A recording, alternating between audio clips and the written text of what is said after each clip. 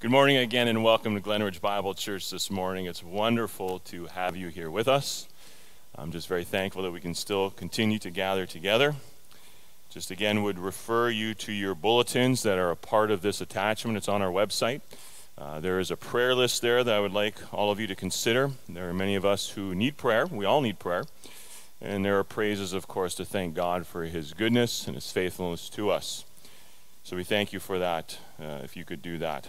We're going to turn our Bibles to Acts chapter 7. We're going to continue on. And as I said last week, we're going to start to chew off larger chunks in this wonderful historical book of the New Testament. And last week set up the office of the deacon, and the emphasis was on Stephen and how he would step forward full of faith and power, doing wonderful signs, wonderful miracles, and the reality that he'd be persecuted for his testimony for Christ. And so he was brought before the Sanhedrin. And all the council in verse 15 of the previous chapter looked steadfastly unto him and saw his face as the face of an angel as he testified of Jesus, despite the, the lies that were brought before him and the false accusations as they recruited false witnesses, claiming that he blasphemed the law of Moses and the temple itself. So we're going to open in chapter 7 and Stephen's going to address the accusations that were made toward him. And what's fascinating is as we unfold this chapter, and we're, we're unfortunately not going to be able to give it the attention it's due, we're only going to pick apart certain pieces here and there. I'd encourage you in your own time to study it. But throughout it all, he never defends himself, he testifies of the faithfulness of God. And so we pick up in verse 1 and listen closely because we'll be jumping through. We're not going to be reading all 50 plus verses. So please follow along closely. Then the high priest said, Are these things so? Verse 1. And he said, Brethren and fathers, listen. The God of glory appeared to our father Abraham when he was in Mesopotamia before he dwelt in Haran, and said to him, Get out of your country and from your relatives and come to a land that I will show you. And then he came out of the land of the Chaldeans and dwelt in Haran. And from there, when his father was dead, he moved him to this land in which you now dwell. And God gave him no inheritance in it, not even enough to set his foot on. But even when Abraham had no child, he promised to give it to him for a possession to his descendants after him. But God spoke in this way that his descendants would dwell in a foreign land, and that he would bring them into bondage and oppress them 400 years. And the nation to whom they will be in bondage, I will judge, said God, and after that they shall come out and serve me in this place. Then he gave him the covenant of circumcision. And so Abraham begot Isaac and circumcised him on the eighth day, and Isaac begot Jacob, and Jacob begot the twelve patriarchs. And the patriarchs, verse 9, becoming envious, sold Joseph into Egypt, but God was with him. Verse 11 Now a famine and great trouble came over the land of Egypt and Canaan and our fathers found no sustenance.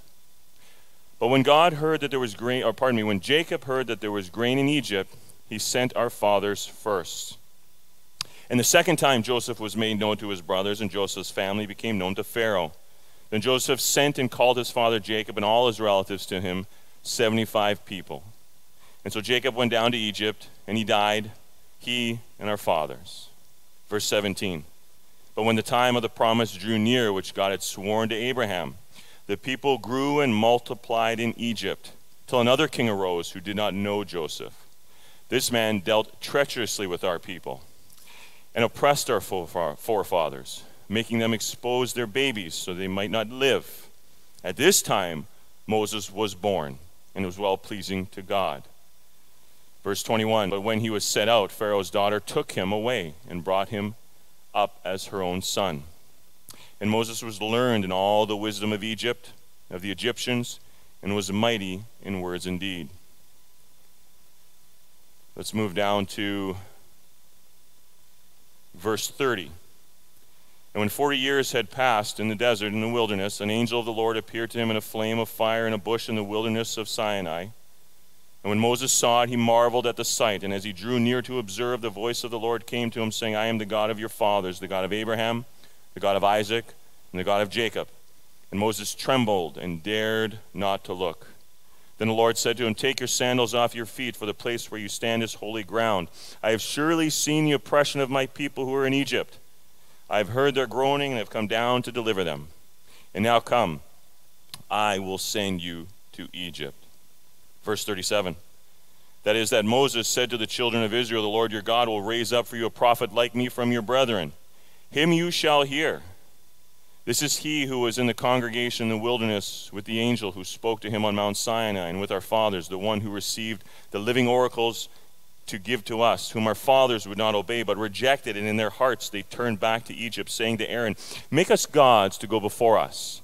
As for this Moses who brought us up out of the land of Egypt, we do not know what has become of him. And they made a calf in those days, verse 41, offered sacrifices to the idol, and rejoiced in the works of their own hands.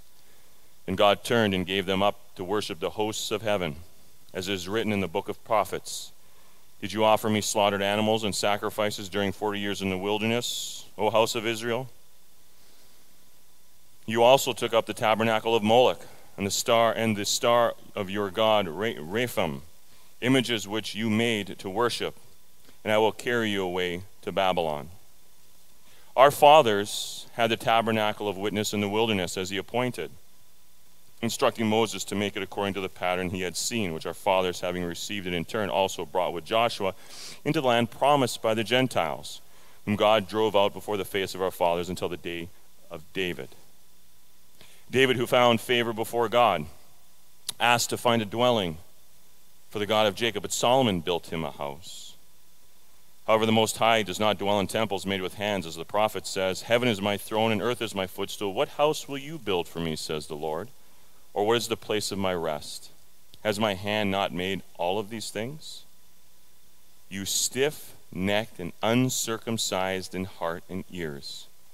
You always resist the Holy Spirit as your fathers did, so do you. Which of the prophets did your fathers not persecute? And they killed those who foretold the coming of the just one, of whom you now have become betrayers and murderers who have received the law by the direction of angels and have not kept it. When they heard these things, they were cut to the heart, and they gnashed at him with their teeth. But he, being full of the Holy Spirit, gazed into heaven and saw the glory of God and Jesus standing at the right hand of God and said, Look, I see the heavens open and the Son of Man standing at the right hand of God. Then they cried out with a loud voice, stopped their ears, and ran at him with one accord. And they cast him out of the city and stoned him. And the witnesses laid down their clothes at the feet of a young man named Saul. And they stoned Stephen. As he was calling on God and saying, Lord Jesus, receive my spirit. Then he knelt down, cried out with a loud voice, Lord, do not charge them with this sin. And when he had said this, he fell asleep. Loving Father, we pray your blessing on the reading of your word this morning. As we unpack the history of Israel, we see again your faithfulness and the reality that we are stiff necked people, oftentimes rejecting your mercy and grace. Lord, we pray for your mercy and grace this morning. We pray for the revelation of your word, that we'd grow in our knowledge and wisdom of the Lord Jesus. We give you thanks in Jesus' name. Amen. It's a lengthy chapter, and I tried to read as much as I could to make emphasis on what we're going to be learning on today. It's Acts chapter 7, and we are speaking about Stephen, who was a disciple on trial. The Apostle Peter and the Apostle John, the Apostle Paul, the Lord Jesus Christ himself, Stephen, these men all have a commonality when it comes to their experiences with these religious leaders. They faced unjust trials for standing on the solid truth, on the solid ground of truth and faith and trust in Christ. They were each dragged before the Sanhedrin and tried as guilty men for blasphemy against God. That was the charge. The charge was replacing the law, altering the law, and a disregard for the temple. These, of course, were false accusations, which ultimately find their root in the hearts of the Pharisees, that of jealous hearts, and the rest of the Jewish council. They, they couldn't perform they couldn't perform the miracles that the disciples were performing. They did not teach as the disciples did. They didn't understand the law as the disciples were learning from the Holy Spirit. They considered them upstarts and uneducated men, and as uneducated men, in the eyes of the Sanhedrin, they had absolutely no authority to challenge the absolute authority of the council. They were the experts on the law of Moses. They were the experts on righteousness. They considered themselves to be those who were closest to God. They were the Sanhedrin. They were the most religious and most dedicated of the Jews when it came to the law and personal righteousness. They were the ones who blessed the people in the synagogues. They blessed them with their wisdom and their knowledge of the law, the application of the law. They were the ones who considered themselves the keepers of the peace. They oversaw the temple and they oversaw the ceremonies and the priesthood. And they were, in their estimation, the final and authoritative voice of God on the earth. At least that's what they believed. Ultimately, when one studies the Sanhedrin, they were ultimately politicians, corrupted religious leaders who sought nothing but preserving their livelihood, their fame, their fortune, and keeping some type of peace between the Jews and Rome. But the Lord described them as whitewashed tombs, saying, Woe to you, scribes and Pharisees, hypocrites! Hypocrites! Like an actor wearing a mask and playing a part. That's what hypocrite means. For you are all like whitewashed tombs, which outwardly, outwardly appear beautiful. They kept the law to its most minute detail, but within are full of dead people's bones and all uncleanliness. Matthew 23 and 27. It's before this very corrupted council that Stephen now stands accused of blasphemy against the law and against the beautiful temple. The temple was the heartbeat of first century Judaism. And so here is Stephen, one of the seven chosen to the newly appointed office of deacon, now dragged before the same religious court of the Jews that condemned the Lord Jesus Christ and threatened Peter and John in just a few verse, a few chapters earlier, and the rest of the apostles.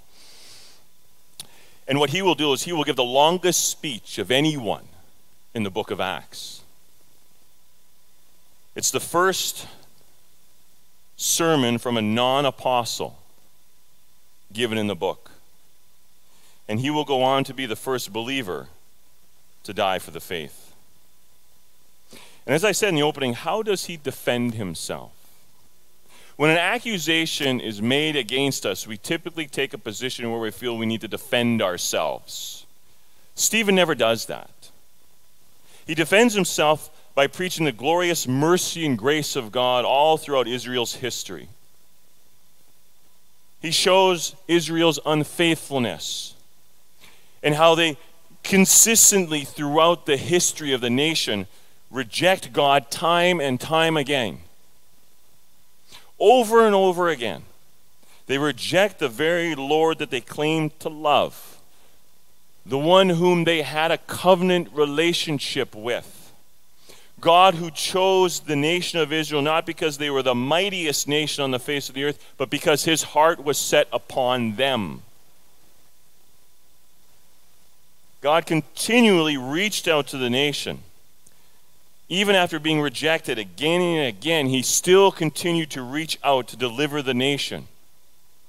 This lengthy speech, 60 verses in chapter 7, breaks down into six parts, and we're not going to go through each, each part. But it breaks down essentially into, into six parts. You have the setting, and that would be Stephen on trial. So you can picture Stephen on trial and the accusations that were made against him. Blasphemer. He was a blasphemer against Moses, against the temple, and against God. And of course, these were all false accusations, as I said, founded in the jealousy and the insecurity of the Sanhedrin, who sought to preserve their power base. They had to recruit false witnesses, Acts 6 and 13. The second part transitions to Stephen's defense, which highlight the mercies of God throughout Israel's history. It's the birth of Israel through the divine election of Abram, who would become the father of Israel. The Abrahamic covenant, the promise of a permanent land for his nomadic descendants. The third portion would be the first rejection and deliverance through the hand of Joseph, the rejected son, who was sold, ultimately sold into Egyptian slavery. And during the time of those seven years of famine, he was the means of Israel's deliverance. God would use Joseph and his circumstances to preserve his newly founded nation here on the face of the earth. And then the fourth, fourth portion would be the second rejection and deliverance through God's Mos, uh, servant Moses. The revelation of God, the God of Abraham, the God of Isaac, the God of Jacob in the burning bush. The truth that God hears the cries of his people. It was now, now was the appointed time of their deliverance and salvation. Moses was used by God, used by him as his instrument to deliver Israel from slavery, from the slavery they suffered in Egypt. And we witnessed the greatest salvation moment of the Old Testament when Israel leaves Egypt, a picture of the world, and is brought to the Red Sea, where the sea parts by the power of God through his servant Moses, and they were brought to safety. Fifth, the third rejection. When the people of Israel reject both Moses and God as their Savior. As Moses was on the mountaintop of Sinai receiving the oracles of God, the law of God, which the Sanhedrin claimed to be precious to them. The nation was at the foot of the mountain, building a golden calf and rejecting, or pardon me, and rejoiced in the work of their own hands. And the sixth part, finally, the charges against God's people in the first century. That throughout history, they have resisted the work of the Holy Spirit that they were guilty of the murder of the prophets and the verdict of being guilty of not truly keeping the law. Stephen, the deacon, the man full of the Holy Spirit, full of power and grace, able to perform miracles, was now on trial for his life. His life was in imminent danger, his life was threatened. And instead of defending himself, he turns the accusation against the council and shows them clear, clearly how throughout the history of the nation, a people that he loved, he says that in verse 2, and clearly identified with, brethren and fathers, listen. He pleads with them as one of their own. A Jew pleading with the Jewish council, listen to the testimony of God throughout our people's history. And now the council was guilty. This council that he stood before were the ones truly, again, on trial, as they were during the trial of Jesus Christ. They were guilty of rejecting God's message. How they had rejected the Messiah, God's own Son. And this latest rejection was the most serious because it was a rejection of God Himself in the person of His Son. The charges of destroying the temple and all of Israel's sacred institutions were not by Christ or his disciples or the apostles. In fact, they were being destroyed by the people of God themselves, the Jews. Right from the beginning of the establishment of the law and the temple and the ceremonies, they have always misunderstood the point. Paul mentions this, the purpose of the law, when he records that they were a tutor for us to lead us to Christ. Galatians 3 and 24. Therefore, the law has become our tutor to lead us to Christ, so that we, we may be justified by faith. Of all the people who put their trust in their righteous works, it is Paul who would say that we must be justified by faith. Ultimately, that is what the law teaches. The NIV puts it this way. Let me put it another way. The law was our guardian until Christ came. It protected us until we could be made right with God through faith. You see, God loves his people so much that in every instance of disobedience, in every instance of misunderstanding, and every time they rejected him, he worked out their deliverance despite them being such a stubborn and stiff necked people. And now God's final plan of deliverance, his, his ultimate end game, the ultimate, the, the, final phase in his salvation plan was his own son. But just like the past, this present generation misunderstood him, misunderstood Christ, and they rejected him. The nation in their religious leaders rejected God's own son, their Messiah, sentencing, sentencing Jesus Christ to the agony and the horrors of the cross. We will not have this man to reign over us. So Stephen begins with the father of Israel and a man who received the righteousness of God because of his faith. It emphasizes and reinforces the truth that salvation comes by faith, trust in the person and the work of Jesus Christ. Stephen begins at the beginning of the nation's history.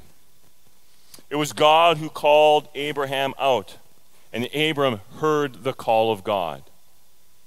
God promised a land for an eternal inheritance if Abraham would get out of his present country and leave it all behind.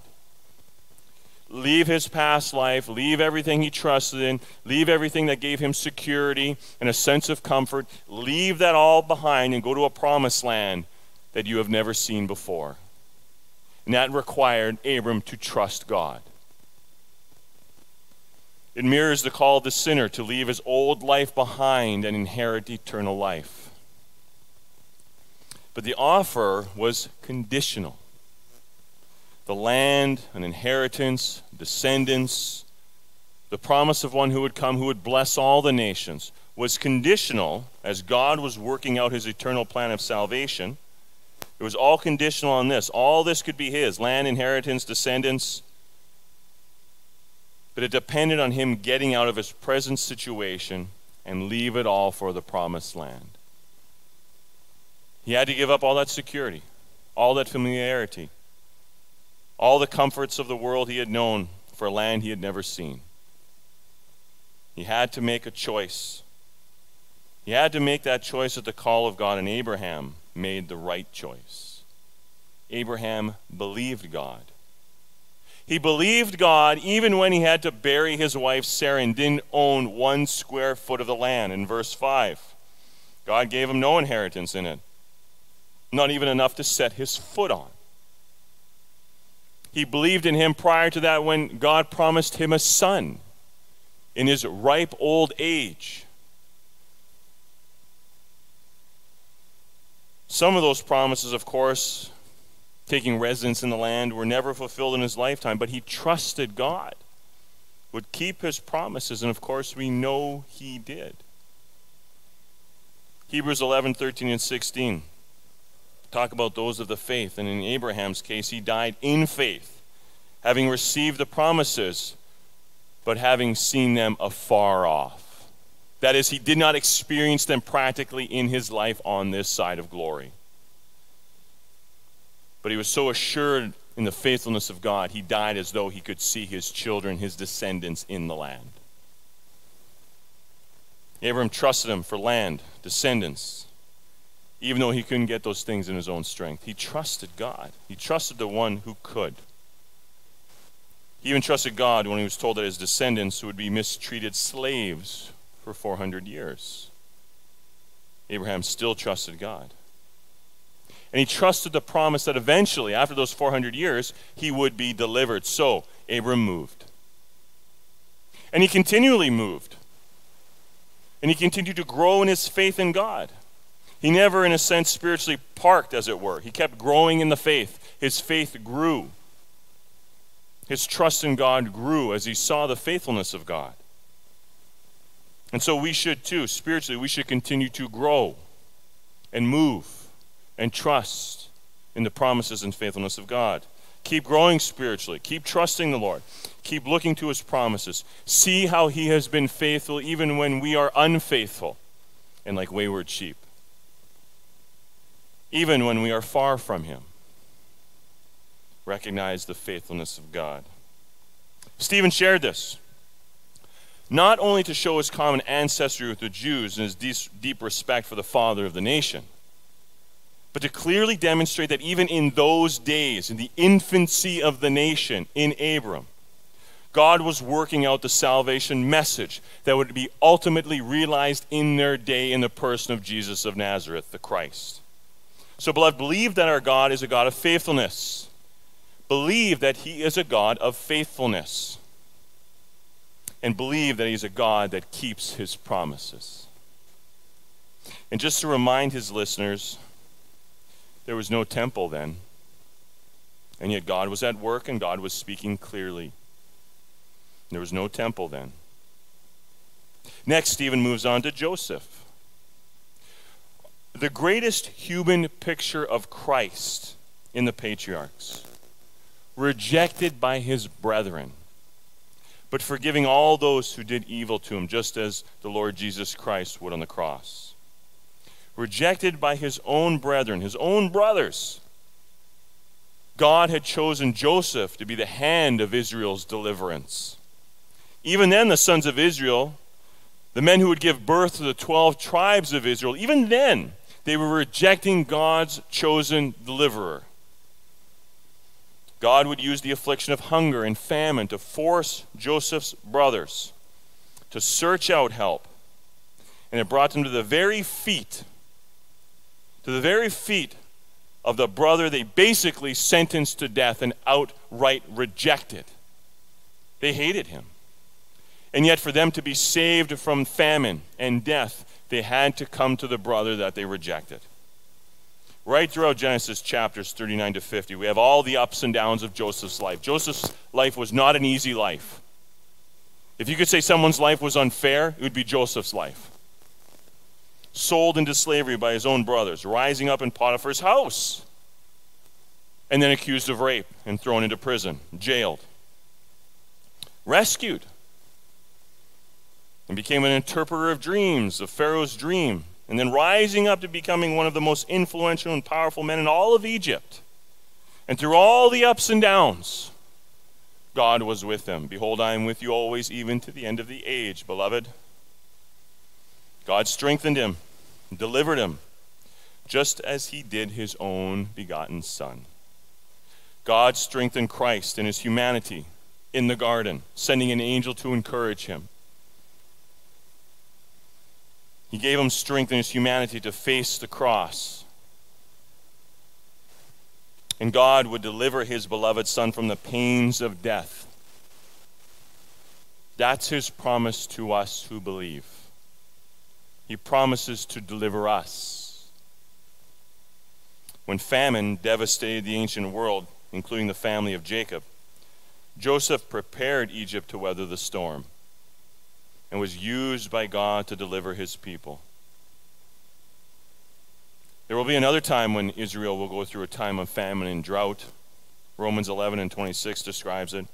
That they will go through another time of famine and drought and tribulation. Then, then they will finally recognize Jesus as their salvation. Despite that envy and despite that jealousy of Joseph's brothers, despite the envy and despite the jealousy of the Sanhedrin toward Jesus, Matthew 27 and 18, despite being punished for sins he did not commit, just as just like Jesus, 2 Corinthians 5 and 21. God always works out his plan no matter how much men try to stop it. No matter how much men try to stop it. And again, the emphasis in those days as God spoken was at work, there was no temple. The location didn't matter. The nation grew in Egypt. Over those 400 years, they grew in Egypt, not the promised land, not the Holy Land, not in Palestine. They grew and worshiped without a temple. And it reminds us that as Stephen is giving this sermon to the Sanhedrin. It's not the place of worship that matters, but undoubtedly you have heard is the positions of one's heart before the Lord that is. A humble and contrite heart. Remember what the Lord said to the Samaritan woman when she asked where we should worship the Lord. Is it here? Is it there? Is it where is it?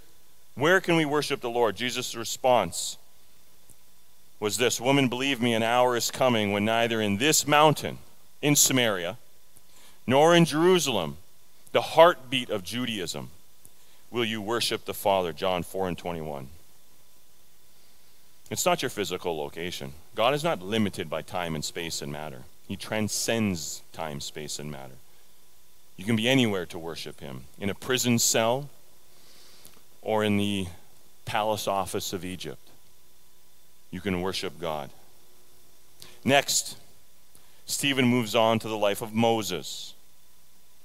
And during a challenging time in the nation's history where there was the real threat that the Hebrews would be wiped from the face of the earth, the first deliverer was born.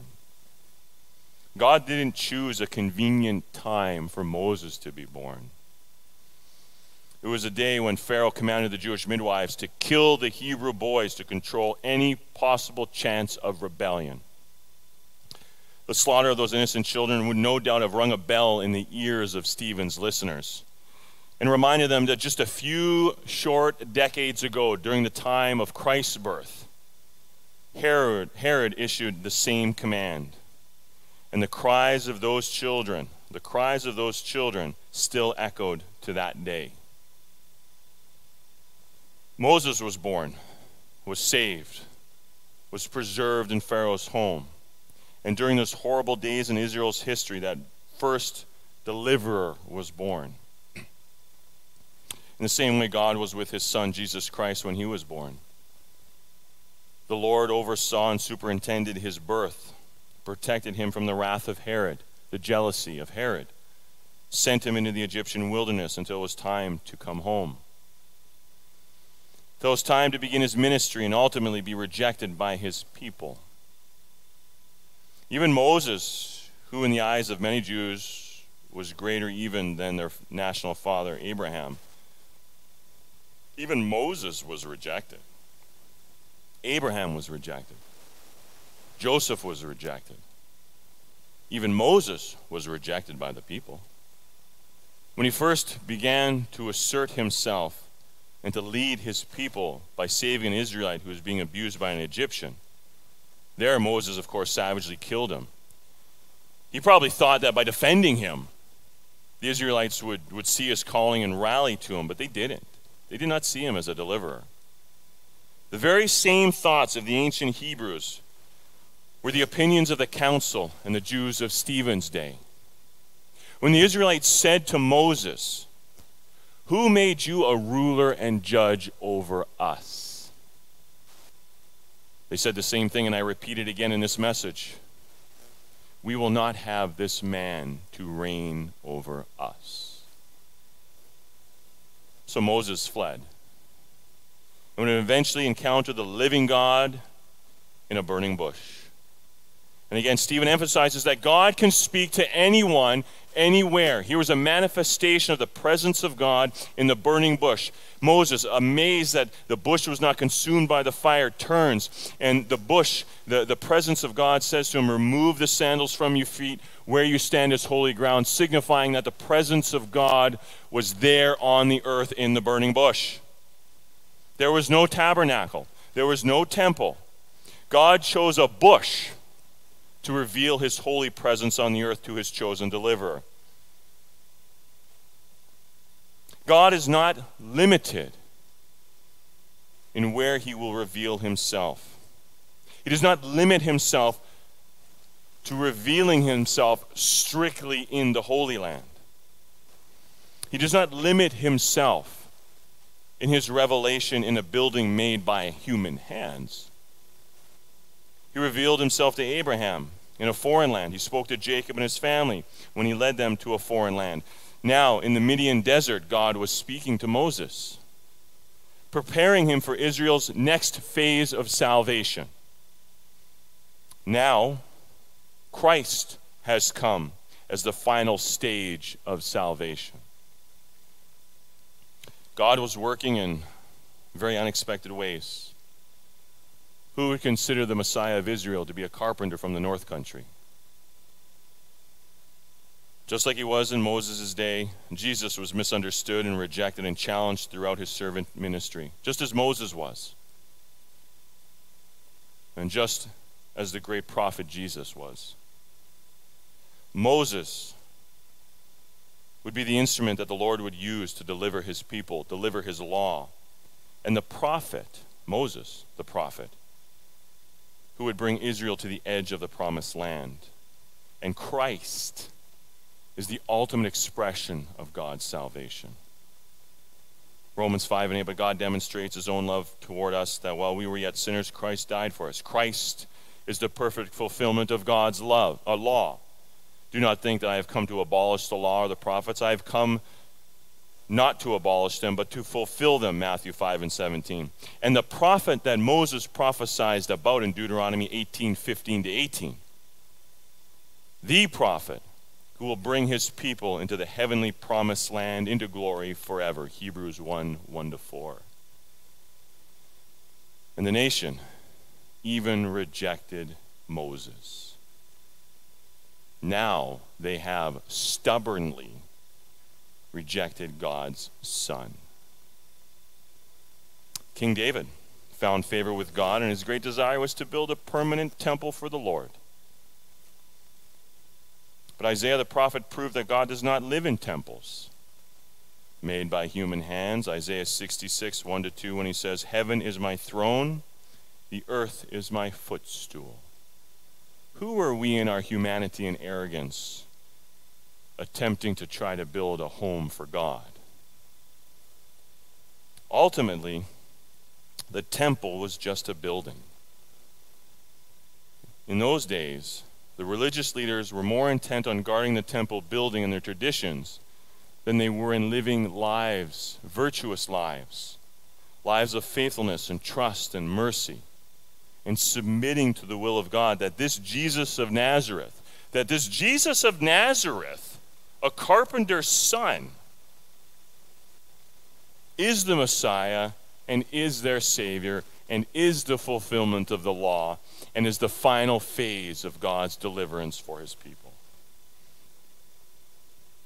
And so, as we come to the end of this chapter, as we just very quickly survey chapter 7, Stephen gives the ultimate defense of the Christian faith and turns the accusations against the Sanhedrin. In verse 51, he says, You stiff necked and uncircumcised in heart and ears.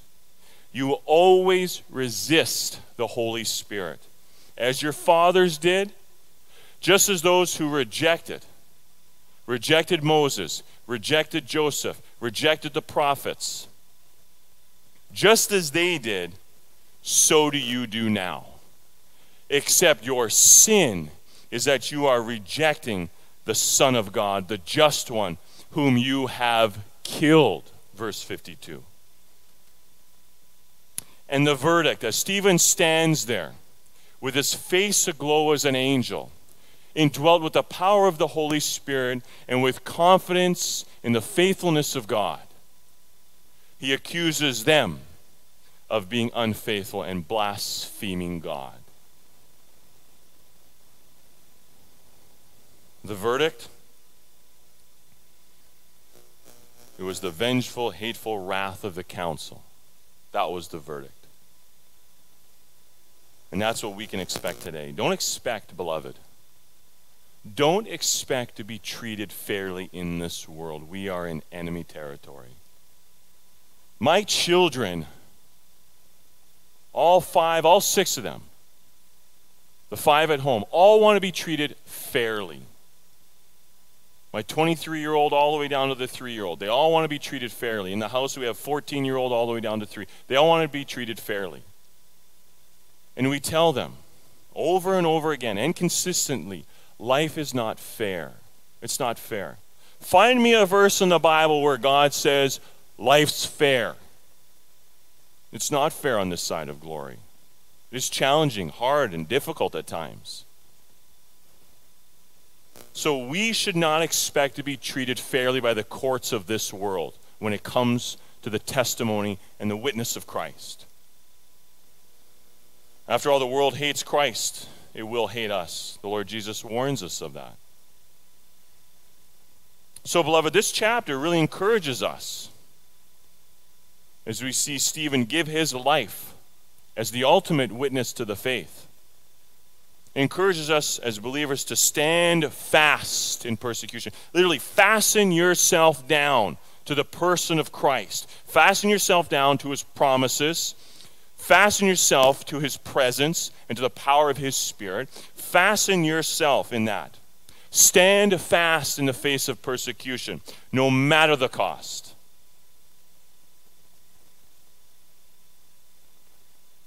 In the final analysis, the ultimate case of martyrdom is the reaction to and a rejection of God. That's ultimately what martyrdom is. Those around us who react to and reject God.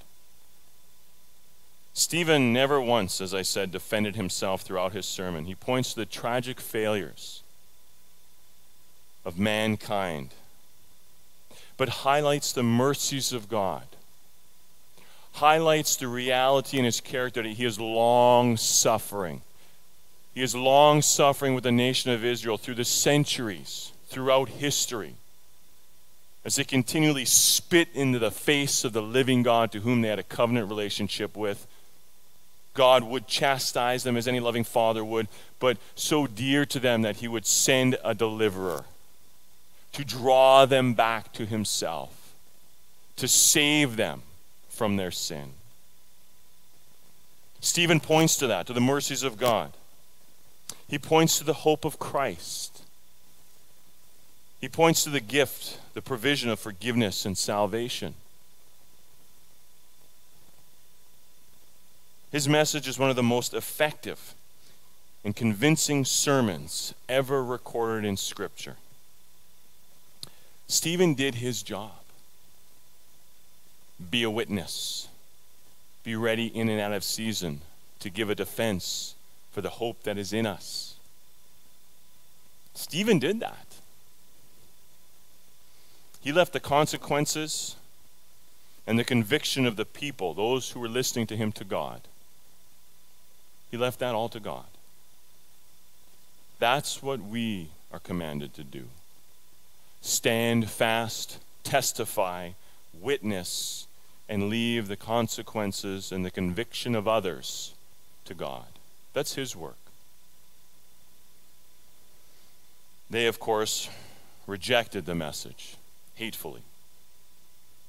Hatefully. And took the law into their own hands and the ground was fertilized with the blood of the church's first martyr. Stephen wasn't wishing to die, of course, but he wasn't willing to deny the truth in order to live. He wasn't wishing to die, but he wasn't willing to deny the truth in order to live. His wish, you can hear it in the plead at the opening of the chapter brethren. He pleads with them, brethren, fathers, listen. His wish was that the leaders of his people would heed the call of God unto salvation in his Son. That's the same message we take today. We ask those around us heed the invitation of God to salvation and eternal life the forgiveness of sins, reconciliation, repent, because God loves you and sent his son for you. He has a purpose for you, your life, and the rewards far outweigh the suffering of this world. That's the message we take to this lost and dying world. And what was the outcome? As Stephen faithfully preached the faithfulness of God and the depravity of mankind and the gift of salvation. What was the outcome? as Stephen is being stoned to death, heaven is opened. We see Christ, who is seated at the right hand of power, signifying his authority. We see him standing and observing everything that is happening to his child. It is the only instance that we find that Christ is standing at the right hand of power. He stands to receive his faithful servant into his eternal reward. The joy of the presence, of being in the presence of Jesus forever. And so we, Stephen, we see Stephen giving his life as the ultimate witness after being a disciple on trial. And it was the Sanhedrin, the religious leaders, who were guilty. And watching on, a young man, gifted, philosopher, master of many languages, a Pharisee of the Pharisee, a man who trusted in his righteous works, who had a zeal, a fire in his heart for the law of God. A young man named Saul of Tarsus who approved of the stoning of this disciple that was on trial. I wonder what we're going to do with this Saul of Tarsus. I wonder what will become of him. Let's pray. Our loving Father, we just thank you again so much for the testimony of Stephen, the first of the deacons a man who loved your people and served your people and ministered to your people. and was called forth to be one of the first seven deacons recorded in the church's history. A man who would, as we said, would fertilize the very ground of salvation with his own blood. A man who stood fast and firm to the testimony and the witness of the faith. Father, we pray that we would be men and women, boys and girls, who would do the same. We don't wish to die. We do not wish for harm in our lives. But if it must be so, Father, strengthen us to testify of the truth of God in spite of these things. Give us courage in these dark days to be the lights of the gospel, to minister unto those who are broken, who are hurting, to those who are lost. Father, we give you thanks again for this time together. We lift up again all of those who are part of Glenridge. I would pray again your blessing on each and every one of us here. Until that day Christ returns or you call us home, we pray for your peace upon us, giving you thanks in the precious name of the Lord Jesus Christ, your Son, our Savior. Amen.